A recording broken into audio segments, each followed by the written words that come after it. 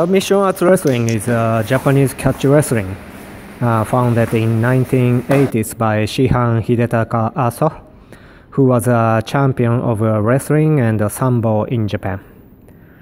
He trained uh, in uh, various uh, grappling arts such as uh, judo, sumo, sambo, wrestling, and took only the useful techniques for actual fighting into submission arts wrestling. He also interacted with uh, karate, Muay Thai, catch wrestlers, and shooto wrestlers, and incorporated the, the uh, elements of them. Submission wrestling is specialized as a no-gi grappling art and is known for variations of uh, devastating leg locks and uh, flowing uh, submission holds. But uh, those are only uh, one part of SAW. His main intention of uh, making SAW was to establish a complete grappling system, which is useful for any fighting situations. That's why SAW techniques are made to be effective not only for grappling competitions, but also for MMA fight and for street self-defense situations. SAW is uh, universal if it is a martial arts, it has to be uh, useful in actual fighting, like in street self-defense situations. Shihan also always uh, says, doing takedowns on mats is like uh, using gloves for boxing. We can practice and have uh, competitions safely with uh, less impact to our body.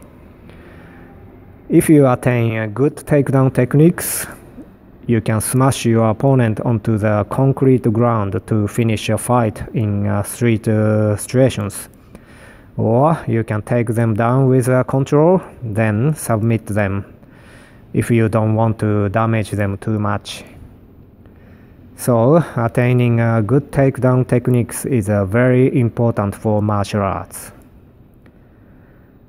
So we learn a lot of uh, throws and takedowns.